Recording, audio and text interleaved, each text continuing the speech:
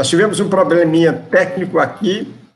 Ah, hoje pela manhã nós tivemos vários problemas. Agora travou aqui o nosso vídeo. Mas você está me ouvindo, então nós queremos compartilhar com você a palavra do nosso Deus, enquanto o Mateus tenta resolver a questão do vídeo, nós vamos ouvir então a palavra do nosso Deus. Como eu disse no início, esse é o nosso último domingo do mês de maio, do mês da família. Né? E durante todo esse mês, nós é, louvamos a Deus e buscamos a Deus para as nossas famílias, que Deus possa abençoar nossas famílias com a campanha 30 Dias de Oração pela Família, com o tema Famílias Vitoriosas Diante das Tempestades da Vida. Ah, enviamos devocionais para as famílias todos os dias, com vídeos, com áudio, com imagens, para que as famílias pudessem, então, adorar ao Senhor. E durante as quartas-feiras e os domingos, nós tivemos mensagens, pregações sobre a família. Nós pregamos desde o primeiro domingo até o último domingo, hoje, né? e durante as quartas-feiras. Pregamos sobre o vírus que destrói a família, famílias vitoriosas diante das tempestades da vida, a família e a tempestade. Quando a tempestade chega na família, a tempestade da solidão, a tempestade do medo e do pânico, o medo do medo à entrega, o controle de Deus na família, a tempestade financeira, a tempestade da incredulidade e da falta de fé, pais, cuidado com a imaginação, o gerador de tempestades do lar, sua família é alvo de Deus. E hoje pela manhã o pastor Yuri pregou sobre a tempestade do pecado e da falta de perdão. Então nós queremos concluir hoje o mês de maio, esse último domingo do mês de maio, compartilhando com você a palavra de Deus, pensando em Deus nas tempestades da família. Ou podemos dizer assim, ponha Deus na sua família. Esse, esse, é um pensamento que nós precisamos ter sempre, porque vivemos dias de, de caos, nós vivemos dias de muitas tempestades. Por exemplo, segundo os dados da Organização Mundial da Saúde, ah, há um suicídio a cada 40 segundos no mundo. E no Brasil, há 45 minutos há um suicídio. Nós temos um número cada vez mais crescente e assustador de dependentes químicos, especialmente jovens.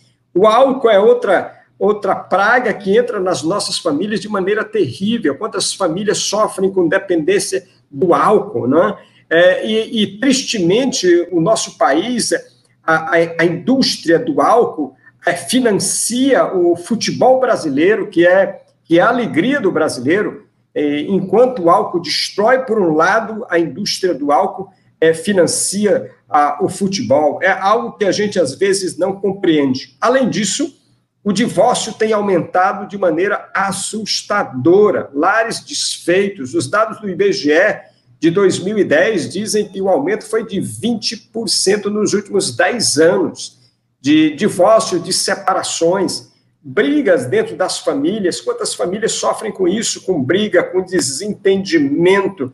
Ah, os dados dizem que os abusos infantil são dentro de casa, a grande maioria absoluta. É crescente a violência contra a mulher. Então, nós vivemos um tempo de, de pandemia em todos os sentidos. Nosso país já sofria com desemprego e agora, com o coronavírus, isso aumentou de maneira assustadoramente. Doenças crônicas vão dominando as famílias e cada vez mais o câncer e as doenças da, da, da emoção, do lado emocional, agravam-se mais e mais, e com essa pandemia, então, o número de pessoas que, que entram em crises emocionais é cada vez mais crescente. Enfim, o mundo em que nós vivemos é um mundo de caos, o mundo que nós vivemos é um mundo de pandemia, o mundo que nós vivemos é um, é um mundo de tempestades uma atrás da outra. Como é que nós vamos lidar com isso? Como é que a família vai trabalhar essas situações?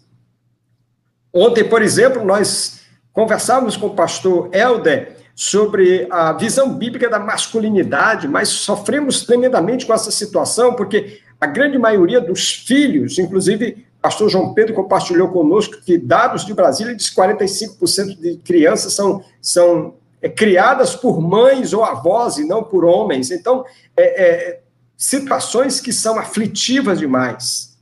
Qual é a família que não tem um dado desse? Qual é a família que não enfrenta algum tipo de tempestade dessa?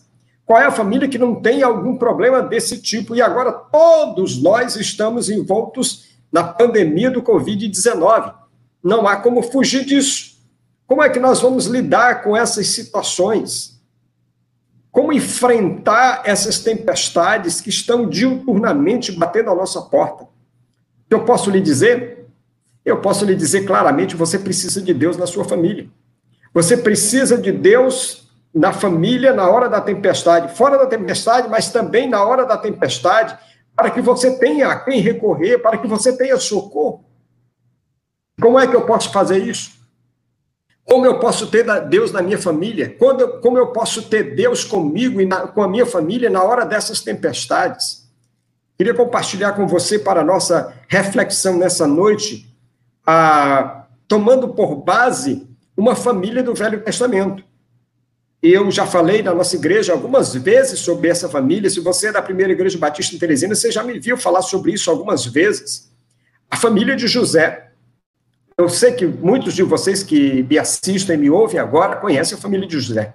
Mas eu queria rapidamente apresentar para você essa família, para você entender que era uma família que estava envolta em várias tempestades, em várias dificuldades, mas Deus foi trabalhando com aquela família através especialmente da vida de José. Por exemplo, Jacó, o pai de José, foi um homem que mentiu várias vezes. Mentiu para seu pai, avô de José, e o enganou, fazendo-se passar por seu irmão. Mas também mentiu quando saiu de casa, né? E mentiu para o seu tio Labão. O tio de José, Esaú, porque foi enganado pelo pai de José, ele uma ameaça de morte. Então, o pai de José, o, José é ameaçado, desculpe, o pai de José é ameaçado por Esaú, o seu irmão gêmeo, né, de morte, porque foi enganado. Então, Jacó, o pai de José, é, foge de casa, se apaixona por Raquel, a mãe de José, e trabalha sete anos para tê-la como esposa. Na hora do casamento, ele é enganado e termina casando com a irmã da esposa. Trabalha mais sete anos para ter Raquel como esposa. Então, o pai de José, ele teve duas mulheres, e as duas mulheres eram irmãs, e as duas mulheres moravam com ele na mesma casa. Ele gosta mais de uma do que da outra. Isso cria uma disputa entre as mulheres que são irmãs. E as duas mulheres, nessa disputa, terminam dando a ele as empregadas como, como concubinas, para que, através das empregadas, tivessem filhos. Então, Jacó fica dentro de casa com quatro mulheres, quatro mulheres dentro da mesma casa. E dessa relação tão conturbada, é, surgem onze irmãos e uma irmã. Diná, que é a irmã é estuprada pelo filho do rei de Siquém. E Jacó não faz nada. E os irmãos então preparam uma emboscada para os homens da cidade para vingar a irmã e matam todos os homens. Rubem, irmão de José, tem relações sexuais com Bila, que é a concubina do pai. Imagina a confusão dentro dessa casa. A mãe de José, Raquel, morre ao dar à luz o seu segundo filho, Benjamim. A situação geral da família de José era catastrófica. O pai era polígamo, pai de 12 filhos com quatro mulheres, duas das quais eram irmãs, que viviam na mesma casa juntamente com todos os filhos enteados. Sua única irmã havia sido estuprada, seus irmãos mais velhos eram culpados de assassinato, roubo, furto e imoralidade. Sua mãe Raquel e, e seu avô Isaac estavam mortos. Na casa de José havia quatro mulheres infelizes ele tinha três madrastas, dez meio-irmãs e uma meia-irmã, todos vivendo embaixo do mesmo teto. Imagina esta família, como lidar com tamanha tempestade, como lidar com tanta quebra de relacionamento dentro de, dessa família. E é exatamente isso que a Bíblia vai mostrar, que havia uma quebra de relacionamento, uma disputa tremenda entre esses irmãos. E eles todos detestavam José, porque José era, de certa maneira, era, de certa maneira, não, era declaradamente o querido do pai. Então, observe, eu queria só que você acompanhasse o texto bíblico, só para a gente é, é, acompanhar esse raciocínio de Gênesis 37, de 1 a 4. Se você puder, abra aí a sua Bíblia para Gênesis 37, de 1 a 4. E o texto diz assim: Jacó habitava na terra das peregrinações de seu pai, na terra de Canaã. Estas são as gerações de Jacó. José, aos 17 anos de idade, estava com seus irmãos apacentando os, os, os rebanhos. Sendo ainda jovem, andava com os filhos de Bila, com os filhos de Zilpa, mulheres de seu pai. E José trazia a, eh, a seu pai mais notícia a respeito deles. Israel amava mais a José do que a todos os seus filhos, porque era filho da sua velhice. E fez-lhe uma túnica de várias cores. Vendo, pois, seus irmãos que o pai amava mais, o amava mais do que todos eles, odiavam-no e não lhe podiam falar pacificamente. Você conhece a história? O quadro que vai se desenvolver é que é, José ganha uma roupa toda especial para mostrar aos irmãos que ele não ia trabalhar no campo, ele não ia cuidar dos animais igual, igual os demais irmãos. Então a, a raiva dos irmãos para com ele aumenta demasiadamente e nesse dia que ele vai olhar o que os irmãos estão fazendo para trazer notícias ao pai, ele, ele se tornou quase que uma espécie de dedo duro dos irmãos. Os irmãos se reúnem então para matá-lo, mas pela intervenção de um dos irmãos, eles decidem vendê-lo como escravo a um grupo de mercadores que passavam.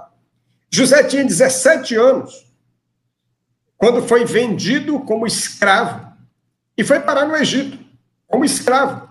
Lá foi vendido para Potifar, os irmãos, quando chegaram em casa, mentiram. Pegaram aquela roupa bonita que o pai tinha dado para ele, para fazer distinção dos demais, mataram o animal, sujaram de sangue e disseram para o pai: um animal feroz o, o devorou. O pai entrou de luto, o pai, o pai nunca, nunca se perdoou por aquilo que imaginava ter acontecido ao filho. Então, nesse quadro geral dessa família, eu quero convidá-lo a aprender com José como colocar Deus na nossa família, como colocar Deus nas tempestades da família, como colocar Deus nos problemas que envolvem a nossa família. E eu sei que a sua família tem problemas. Eu sei que a sua família enfrenta tempestades. Com toda certeza, as tempestades da sua família não se comparam com as tempestades da família de José. Com toda certeza. Mas você tem tempestades. E eu sei que quando você olha os problemas da sua família, quando você olha as tempestades na sua família, você pensa que são maiores do que todos os outros da face da terra. Você começa a dizer, Deus não me ouve. Você começa a dizer assim, os nossos problemas são terríveis. E eu não estou duvidando disso. Mas tenho certeza que eles não são maiores do que todos os outros problemas do mundo e nem são maiores do que os problemas da família de José. O que fez José?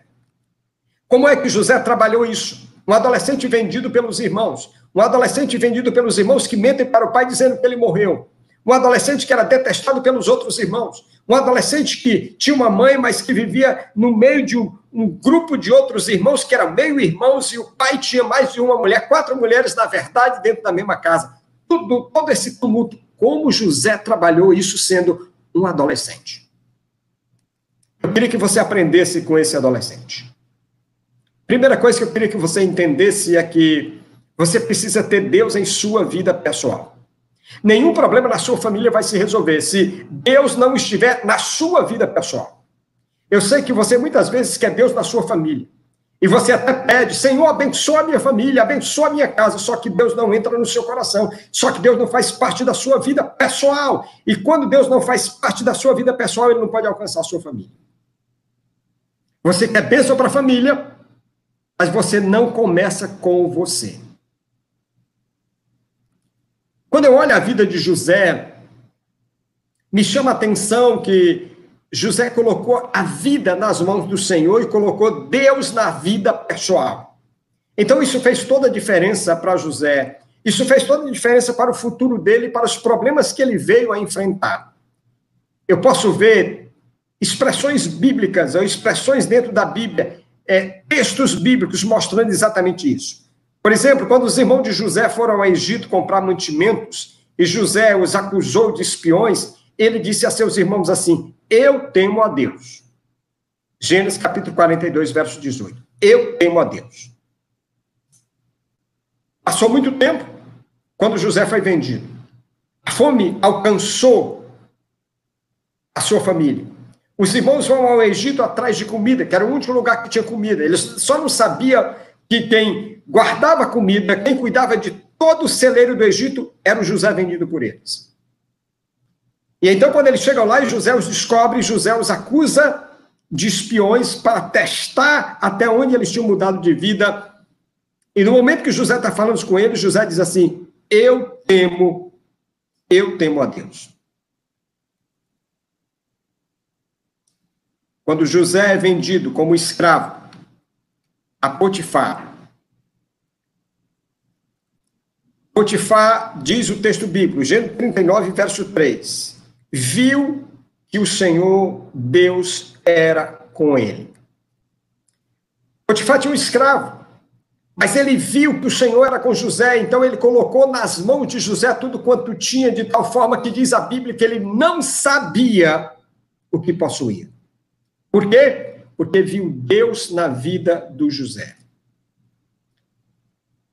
José é acusado pela esposa de Potifar de, de querer possuí-la. Ela mente. Mas ele vai para a cadeia por conta disso.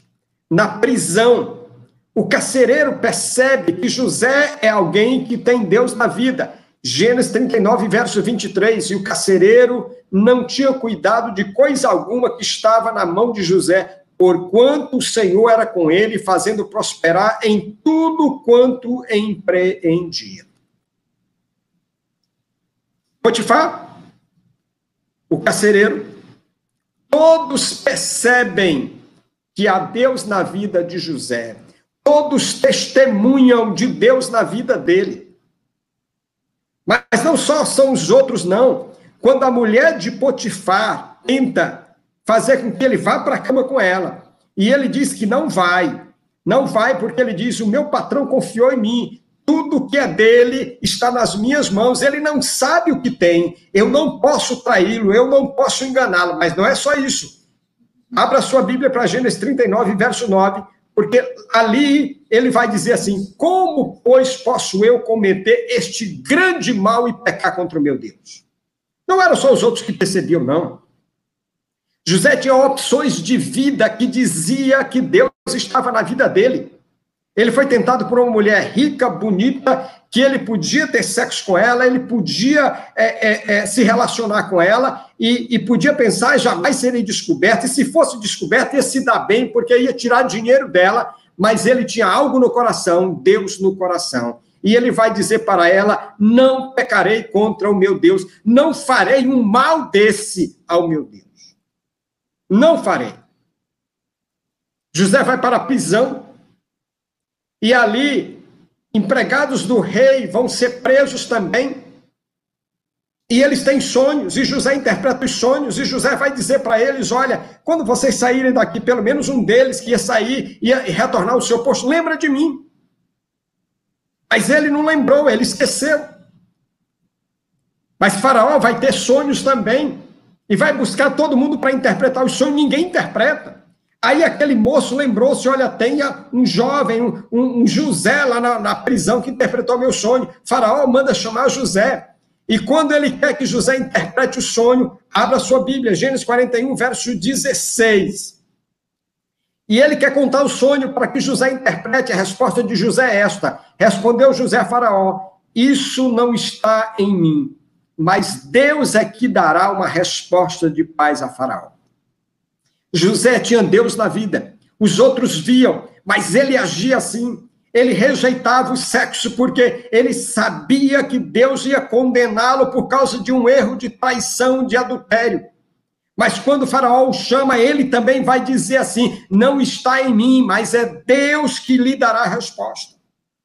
Então eu queria que você pensasse nisso quando eu quero que a minha família enfrente as tempestades, quando eu quero que a minha família lide com as dificuldades, quando eu quero que a minha família seja abençoada, Deus precisa começar comigo. O meu coração precisa estar nas mãos do Senhor. A minha vida precisa estar nas mãos do Senhor. Se Deus não estiver em mim, como é que eu vou querer que Ele alcance a minha família?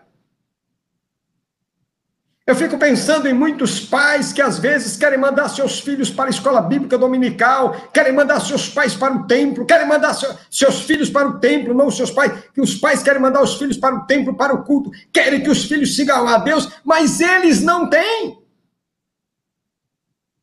Como é que eu quero que meu filho siga a Deus se eu não sigo? Como é que eu quero que Deus abençoe meu filho se eu não quero a benção de Deus para mim? Deus não será Deus para a sua família se ele não for Deus para você. Vou repetir: Deus não será Deus para a sua família se ele não for Deus para você. A primeira decisão da sua vida deve ser colocar a sua vida, a sua família nas mãos do Senhor. Quando a Bíblia diz: Amarás ao Senhor teu Deus de todo o teu coração, de toda a tua alma, de todo o teu entendimento, isso é para você. É pessoal. Você não pode querer isso para sua esposa, você não pode querer isso para o seu filho, você não pode querer isso para sua família sem que comece com você. É pessoal. Quando eu abro a Bíblia em Deuteronômio 6, versos 6 e 7, a palavra vai dizer assim: Estas palavras que hoje te ordeno estarão primeiro no teu coração. E então as ensinarás a teus filhos, e dela falarás sentado em tua casa, andando pelo caminho, ao deitar-te, ao levantar-te. Eu vou ensinar os meus filhos no caminho, em casa, em todo lugar, mas primeiro ela estará no teu coração. No meu coração. No meu coração. Então faça de Deus o Deus da sua vida, faça de Deus o Deus da sua família, mas comece com você. Deixe Deus ser com você.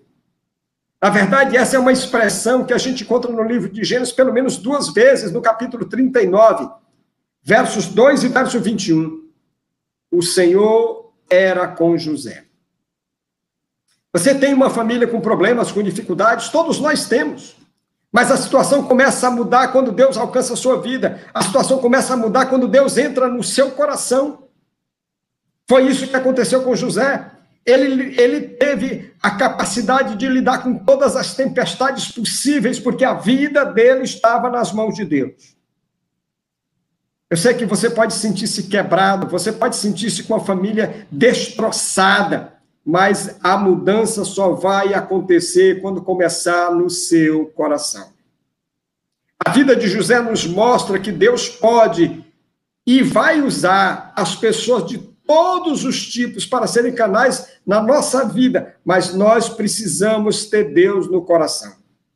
Ter uma família com dificuldades, ter uma família imperfeita, ter uma, uma família com problemas, não significa que Deus esqueceu de você. Deus não vai esquecer de você, mas você precisa fazer de Deus o seu Deus. Não é uma questão só de saber, não é uma questão só de falar, não, as suas decisões precisam ser pautadas pela palavra, as suas decisões precisam ser submetidas ao Senhor. Foi isso que José fez. Ele não fazia uma decisão sem que o Senhor tivesse na direção. Quando o faraó o chamou, achou que ele tinha algum, algum dom especial. Ele disse: Não, não, não está em mim.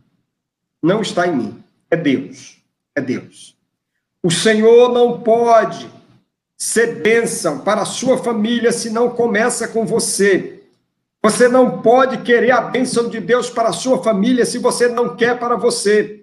O Senhor não vai alcançar a sua família se você não deixar que isso comece no seu coração, na sua vida na sua vida.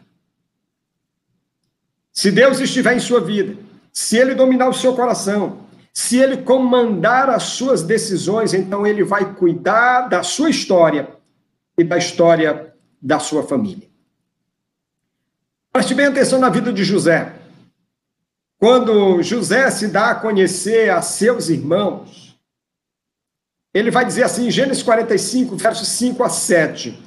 Agora, pois, não vos entristeçais, nem vos aborreçais por me haverdes vendido para cá. Porque para preservar a vida é que Deus me enviou adiante de vós. Porque já houve dois anos de fome na terra, e ainda restam cinco anos em que não haverá lavoura e nem cega.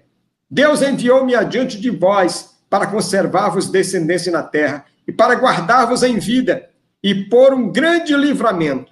Assim não foste vós que me enviaste para cá, senão Deus que me tem posto por pai de Faraó e por senhor de toda a sua casa, e como governador sobre toda a terra do Egito. Preste bem atenção. Os irmãos de José estavam preocupados quando José se deu a conhecer. Quando José disse: Olha, eu sou aqueles que vocês venderam quando, venderam quando eu tinha 17 anos. Eu sou aquele irmão de vocês que vocês venderam e, e, e, e disseram para o meu pai outra história. Eles ficaram apavorados. Mas José vai dizer para eles assim: não fiquem com medo, porque eu sei claramente que tudo isso que vocês fizeram foi porque Deus queria me trazer para o Egito para preservar, para salvar a vida de toda a minha família. Olha que coisa impressionante. Um adolescente vendido, um adolescente enganado, um adolescente odiado pelos irmãos, uma família cheia de desavença, de briga, um pai que mentiu, que enganou e que enriqueceu também através de muitas mentiras e enganos. Mas tem um jovem, um filho, temente a Deus. Um filho que tem a vida nas mãos de Deus. E ele consegue ver toda a situação que vem sobre ele. Ao invés de odiar os irmãos, ao invés de desejar a vingança dos irmãos, ele compreende que Deus tem um propósito naquela história. Ah, como é bom quando a gente tem intimidade com Deus. Ah, como é bom quando a gente pode falar com Deus, porque enquanto os outros se desesperam, a gente encontra propósito, a gente encontra explicação. Não porque a explicação é melhor, não, é porque Deus está conosco e a gente sabe que mesmo quando não temos a explicação, nós temos a segurança de que o Senhor está no comando. Para José, a venda não foi uma venda por causa dos irmãos, não foi uma traição dos irmãos, foi uma condução de Deus para a salvação de toda a sua família.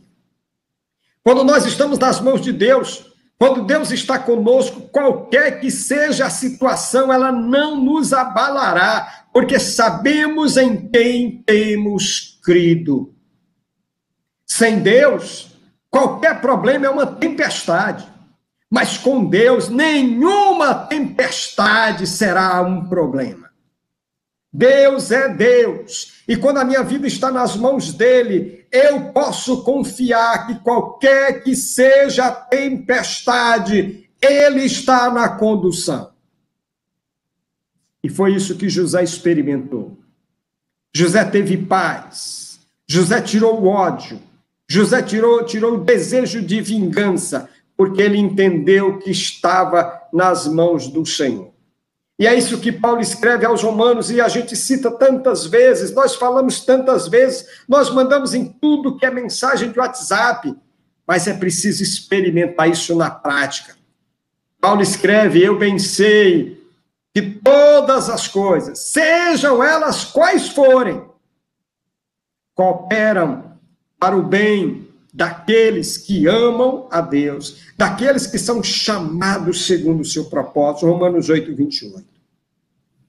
Todas as coisas, não sei que coisas, todas as coisas, não sei que coisas, todas as coisas, não sei quantas coisas, mas todas as situações levam aqueles que temem ao Senhor para algo que coopera para o seu bem, porque mesmo que algo que me aconteça me tire a vida, ainda será para o meu bem, porque eu estarei com o Senhor. Ainda será para o meu bem, porque eu, eu, eu me encontrarei com o meu Deus. E nada é melhor do que estar na presença do meu Deus. Nada. Esses dias eu estava vendo uma live, agora tudo na vida é live, né? Então eu estava vendo uma live esses dias. E ouvindo o testemunho de um casal de missionários que o casal abandonou a, a, a vida em São Paulo, uma vida estável em São Paulo para ser missionários na Amazônia, entre os ribeirinhos. E aquele casal dizia que quando eles tomaram aquela decisão, uma, uma das preocupações deles era os filhos. Porque Deus chamou e eles estavam indo para a Amazônia, para o meio do nada lá, ou para o meio das muitas águas. Mas e os filhos? Os filhos tinham que ficar em São Paulo, os filhos tinham que estudar, os filhos tinham que seguir a vida. Eu achei interessante a palavra daquela esposa, dizendo assim: enquanto cuidávamos das coisas de Deus, Deus cuidou dos nossos filhos e das nossas coisas enquanto cuidávamos das coisas de Deus, Deus cuidou dos nossos filhos e das nossas coisas.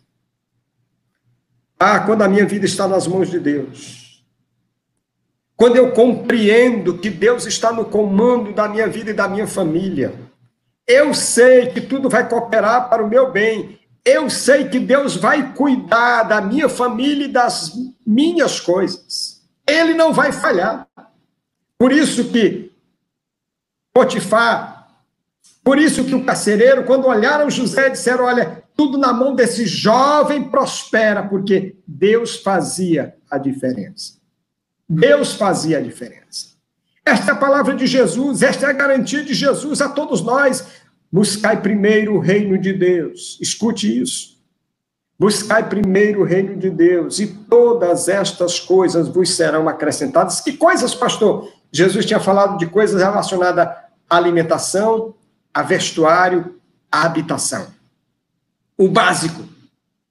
O Senhor disse: Olha, se você buscar em primeiro lugar o Senhor e o reino dele, ele cuida destas coisas. Muitos de nós vivemos correndo de um lado para outro, muitos de nós vivemos tão atarefados, cheios de tantos afazeres, tão preocupados em ter as coisas, que nós esquecemos do Senhor e do reino. Corremos e nos cansamos e não temos. E quando temos, gastamos tudo para ter saúde, tempo, família. Perdemos tudo. Porque trocamos os valores, invertemos os valores. Eu imagino que para José não foi fácil. Não foi fácil lembrar que havia sido jogado num poço pelos irmãos. Não foi fácil lembrar que, que ele, ele tinha sido vendido por algumas moedas, não foi fácil lembrar que ele tinha ido como escravo, não foi fácil lembrar que ele foi para a prisão injustamente, não foi fácil nada aquilo para José, mas Deus estava na vida dele, e então ele podia descansar sabendo que o Senhor estava no controle. Nós começamos uma nova campanha ou momentos devocionais da igreja, que chamamos a partir de amanhã, você vai receber. Já mandei em PDF para você. Mas a partir de amanhã, diariamente, a gente vai estar lembrando você. Devocionais para 15 dias, que nós chamamos Atos de Deus na Pandemia. E o que nós queremos? Nós queremos que você enxergue Deus no meio desse tumulto. Nós queremos que você veja o agir de Deus na sua vida, na sua família, no meio de todo esse caos. No meio do isolamento, no meio de tudo, nós queremos que você entenda: Deus está no controle, está agindo, Deus está atuando e você precisa ver isso e aprender a ser agradecido ao que Deus está fazendo com você e com a sua família. Após a morte de Jacó, os irmãos de José ficaram preocupados. Então eles foram conversar com José, porque eles disseram assim: olha, nosso pai morreu, agora José vai aproveitar e vai se vingar da gente. Olha a sua Bíblia em Gênesis capítulo 50, versos 16 a 21. Veja como José agiu. Então mandaram dizer a José: Teu pai, antes de, da sua morte, nos ordenou: Assim direis a José: Perdoa a transgressão de teus irmãos e o seu pecado, porque te fizeram mal. Agora, pois, diz os irmãos, rogamos-te que perdoes a transgressão, a transgressão dos servos do Deus do teu pai. E José chorou enquanto eles falavam. Depois vieram também seus irmãos, prostraram-se diante dele e disseram: Eis que nós somos teus servos. Respondeu-lhe José: Não temais. Acaso estou eu no lugar de Deus? Vós, na verdade, intentaste o mal contra mim, Deus, porém, o intentou para o bem, para fazer o que se vê neste dia, isto é, conservar muita gente com vida. Agora, pois, não temais e nem vos assusteis, nem vós e nem vossos filhos. Assim ele os consolou e lhes falou ao coração. Olha, enquanto José deveria ser aquele que receberia a palavra de consolo. José deveria ser aquele que receberia a palavra que dizia assim: Olha, nós estamos contigo. Não, é o contrário. Os irmãos, ao verem o pai morrer, ficaram preocupados, apavorados, dizendo: Ele vai se vingar de nós. E quando eles vão lá dizendo: Olha, o teu pai disse para a gente falar contigo para nos perdoar. Os irmãos mentem porque, porque botam palavras na boca do defunto. Mas José chora porque ele não conseguiu ainda acompanhar os irmãos, no sentido que os irmãos não entenderam que estavam perdoados. José chora. E José conforta o coração deles, a alma deles, dizendo assim: vocês não fizeram mal nenhum, porque foi Deus que projetou isso para a salvação de todos. Você lembra de Jó? Jó, quando perde tudo que tem, vai dizer ele vai dizer assim: então Jó se levantou, rasgou o seu manto, raspou a cabeça, lançou-se em terra e adorou e disse: Nu saí do ventre da minha mãe, nu para lá tornarei. O Senhor deu, o Senhor tirou, louvado seja o nome do Senhor. Sabe o que é isso? Alguém que tem a vida nas mãos do Senhor. Sabe o que é isso? Alguém que experimentou que Deus conduz a vida, alguém que experimentou que Deus abençoa, e quando Deus abençoa, não há quem tire a bênção. Quando Deus fecha, não há quem abre, e quando Deus abre, não há quem feche, porque o Senhor é Deus no céu e na terra. Bote Deus na sua vida. Ponha Deus na sua família, mas comece com você. Diga para Deus, Senhor, eu vou te seguir, eu vou te servir, aconteça o que acontecer. Eu sei que no meio da pandemia, nos primeiros dias, você ficou apavorado. Eu sei que talvez você tenha ido para os pés de Deus por medo. Mas aí, quando o tempo vai passando, parece que você não vai ser alcançado. Parece que nada vai lhe acontecer, você começa a afrouxar no relacionamento, a relaxar no relacionamento. Você começa de novo a se distanciar, você começa de novo a falhar com a palavra com Deus, você começa de novo a não ser aquilo que disse que seria. Reveja. Reveja. Busque a Deus para a bênção de todos os seus, mas comece com você. O que José fez? Ele escolheu abençoar e não vingar. Ele escolheu salvar e não condenar. A mensagem a seu pai foi assim: Assim disse teu filho José: Deus tem posto por senhor de toda a terra do Egito.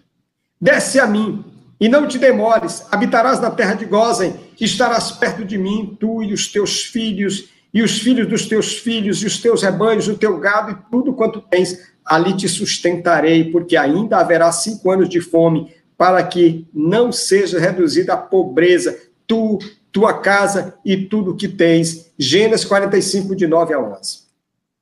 José vai dizer para seu pai: Vem, eu quero sustentar vocês. Vem, eu quero cuidar de vocês. José era abençoado por Deus, mas ele queria que a bênção alcançasse a sua família. Ele não queria que a bênção alcançasse a sua família sem passar por ele. Primeiro a bênção chegou a ele e depois ele quer então que alcance a sua família. E após a morte do pai, os irmãos com temor vão dizer a ele: Olha, o nosso pai morreu e disse para você nos perdoar. E ele vai repetir a mesma história. Não tem mais, eu vos sustentarei, a vós aos vossos filhos. Assim ele consolou e lhes falou ao coração. José escolheu ser o salvador da sua família. Eu fico me perguntando, meus irmãos, quantos de nós temos Cristo na vida?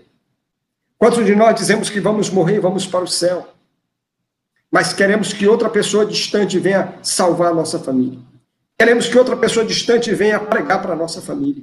Nós não assumimos que a bênção que nos alcançou precisa alcançar a nossa família. Nós não assumimos que o salvador da família deva ser eu e não o outro. Eu que estou dentro da casa, Eu que tenho essa responsabilidade. José tinha tudo para se distanciar da família. José tinha tudo para renegar a família. José tinha tudo para não falar com eles. Mas ele escolheu amar e salvar porque Deus estava na sua vida. Deus estava com ele. Quem será o salvador da sua família? Quem vai fazer diferença na sua família? O pastor? O diácono? O irmão do lado? Quem? José disse: Sou eu. Não será outro, sou eu.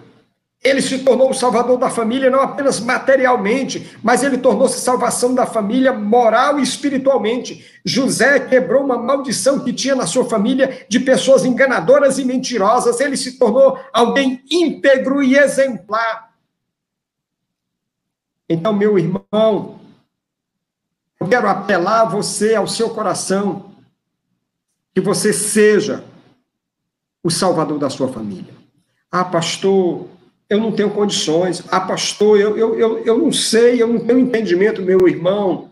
Seja instrumento de Deus, porque é Deus que nos dá as condições que nós precisamos. Não está em mim, não está em você, está no Senhor. Então dependa do Senhor, fique com o Senhor. Lembra do carcereiro de Filipos? Paulo está lá preso, mas com o terremoto todos saem, todos são soltos, ele tenta se matar, Paulo diz: não faça isso. E Paulo passou aquela noite cantando, madrugada cantando, e ele ouvindo os cantos e a mensagem. E quando Paulo então diz para ele não fazer isso, que ninguém fugiu, todo mundo está lá, ele vai direto para Paulo e diz assim: Senhores, o que eu faço para ser salvo? Ele estava preocupado, e ele não estava falando do, do, do, poder romano, não, porque todos os presos estavam ali, ele estava falando da alma dele, Senhor, senhores, o que eu faço para ser salvo? E Paulo responde categoricamente, diretamente: crê no Senhor Jesus e será salvo, tu e a tua casa. A Bíblia diz que nós somos salvos pela graça por meio da fé. É isso que diz a palavra de Deus, e Jesus diz que aquele que crê tem a vida eterna. Ora, o carcereiro pegou a palavra de Paulo e ele então a experimentou de forma contundente. Paulo disse que seria salvo ele a casa, então ele pegou Paulo na madrugada, levou na sua casa e disse: Olha, prega para minha família. Acordou todo mundo. Todo mundo foi ouvir o evangelho. E ainda naquela madrugada, todos foram batizados. Sabe por quê? Porque aquele homem encarnou a mensagem Paulo disse que eu seria salvo pela fé, mas a minha família seria salva. Então ele quis ser o salvador da sua família e ele levou Paulo na madrugada para falar para a sua família, porque ele queria que a sua família fosse alcançada pela bênção que ele tinha. Ah, meu irmão, não deixe de ser bênção na sua casa. Não deixe de ser bênção na sua família. O Senhor quer usar você como usou José. O Senhor quer usar você como usou o carcereiro. O Senhor quer que você seja o salvador da sua família em todos os sentidos. Seja você instrumento de Deus na sua casa. Clame ao Senhor. Clame. O que faltar em você, peça ao Senhor, porque Ele dá. Ele dá mas não deixe a porta fechada e não espere por outro, porque pode ser que não haja tempo de outro fazê-lo. Pode ser que o tempo esteja tão próximo do fim que você não terá condições de outro fazê-lo. Faça você mesmo. A mensagem é sua, você está dentro de casa, nós estamos confinados, nós não estamos recebendo visita. A visita do Senhor na sua casa é através de você. Você é o anjo de Deus na sua casa, você é o mensageiro de Deus na sua casa. Salve a sua família enquanto você pode, antes que a trombeta toque no céu, porque quando tocar, não haverá mais oportunidade. Seja o salvador da sua família. Mas comece com você. Pare de ser crente de meia tigela. Pare de ser crente de faz de conta. Pare de ser crente religioso. Pare de ser crente de igreja virtual. Ponha a vida na mão de Jesus com seriedade. Ponha Jesus no coração com seriedade. Dê a vida a Jesus e faça como José fez. O Senhor está comigo, portanto, eu não vou negá-lo, eu não vou envergonhá-lo, eu não vou trocá-lo por sexo, eu não vou trocá-lo por dinheiro, eu não vou trocá-lo por nada, porque o Senhor é tudo que eu preciso, o Senhor é tudo que você precisa. Faça de Jesus o Senhor da sua vida e da sua casa. Você não fez isso ainda? Faça hoje. Você ainda não entregou a vida a Jesus? Entregue hoje. Ah, pastor, como eu faço? É simples. Onde você está, abaixa a sua cabeça. Ore. Ore de maneira simples, dizendo: Deus, eu, eu reconheço que eu sou pecador. Eu tenho um pecado contra o Senhor. Perdoa os meus pecados, Pai. Limpa o meu coração. Ó Deus, eu te recebo como Salvador e Senhor. Eu quero viver para ti e só para ti. Eu quero seguir a tua palavra, aconteça o que acontecer. Diga isso, só isso. Quando você disser isso, não vai ter nenhum trovão no céu. Não vai ter nenhum relâmpago. Não vai ter nenhum terremoto. Mas dentro de você, o Espírito Santo habitará. Dentro de você haverá uma mudança que só quem experimenta sabe. Uma semana, uma semana e meia atrás, eu fiz isso com uma pessoa que está aqui conosco. Eu disse a ela o que diz a Bíblia. A Bíblia diz assim: se em teu coração creres e com a tua boca confessares, será salvo. Por quê? Porque a Bíblia diz assim, Romanos 10, 9 e 10. Com o coração se crê para a justiça e com a boca se confessa para a salvação. Eu fiz isso com a pessoa que está aqui conosco. E ela disse, pastor, como eu faço? Eu disse, ore. Escrevi no WhatsApp essa oração que eu falei agora para você. Baixe sua cabeça, feche os olhos e ore. E ela fez. Depois eu liguei. Eu disse, eu posso falar com você? Ela disse, pode. E ela estava chorando aos prantos não aconteceu nenhuma coisa extraordinária. Mas pergunte a ela o que mudou dentro. Pergunte a ela a alegria que veio de dentro. Pergunte a ela o peso que foi tirado do ombro. Pergunte a ela os propósitos que Deus deu no coração, porque Deus faz de nós novas criaturas. Ele quer fazer com você. Entregue sua vida a Jesus. Enquanto é tempo enquanto há oportunidade, porque está chegando a hora que será tarde demais. Não deixe que seja tarde demais. Baixe sua cabeça. Ore comigo. Deus, aqueles que estão aqui participando conosco, que ainda não entregaram a vida a Jesus, que possam fazer agora. E cada um deles diga: Senhor, me arrependo. Eu sou pecador. Perdoa o meu pecado. Limpa o meu coração. Deus, eu te recebo como Salvador e Senhor. Eu quero viver para te servir. Deus, que eles digam isso e que o Senhor os perdoe, Senhor os limpe com o sangue de Jesus e que o Senhor ponha o teu Espírito Santo como selo em suas vidas.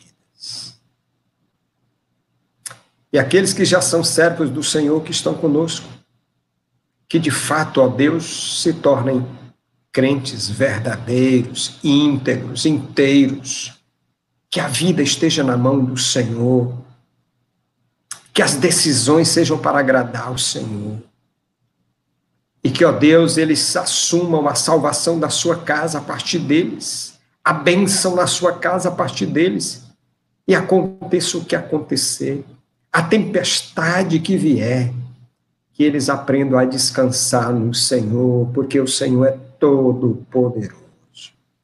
E como José, eles possam, depois da tempestade, olhar para trás e dizer: Foi o Senhor que projetou, porque todas as coisas cooperam para o bem dos que amam a Deus. Como Jó, eles possam dizer: Ó oh Deus, perdi tudo, mas eu saí nu do ventre da minha mãe, eu voltarei nu para lá. Louvado, engrandecido seja o nome do Senhor, porque o Senhor deu e o Senhor tirou. Que a alegria dos teus servos esteja no Senhor e não nas coisas. Que a alegria dos teus servos esteja em servir ao Senhor e não agradar a homens. Que a alegria dos teus servos esteja na adoração ao Senhor. Abençoa a tua igreja, ó Deus, não deixa que nenhum se perca. Não deixa que nenhum se vá. Que todos sejam guardados pelo Senhor. Em nome de Jesus. Amém. Eu quero agradecer a você que ficou conosco esse tempo. Uma hora, 33 minutos conosco, louvando a Deus, orando, ouvindo a palavra de Deus. E eu espero que Deus tenha falado profundamente ao seu coração. Qualquer dúvida aí no nosso canal do YouTube, na nossa página do Facebook, tem todos os nossos contatos, ou você pode ir na página da igreja pibteresina.com.br e também ali você tem o nosso contato. Entre em contato conosco, nós estamos nessa caminhada até a hora que Jesus voltar e queremos que você siga conosco também e que a gente esteja cumprindo a missão do Senhor enquanto aqui estivermos.